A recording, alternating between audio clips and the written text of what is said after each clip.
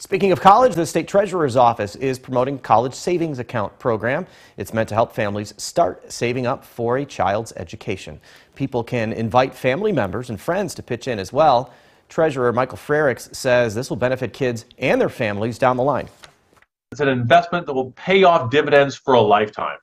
It's important for their families because they're going to have a much higher earning potential. And it's important for us as a state because we need a qualified, well-trained workforce.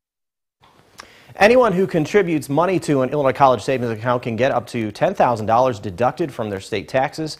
That's for people who file as individuals. For joint filers, that goes up to $20,000.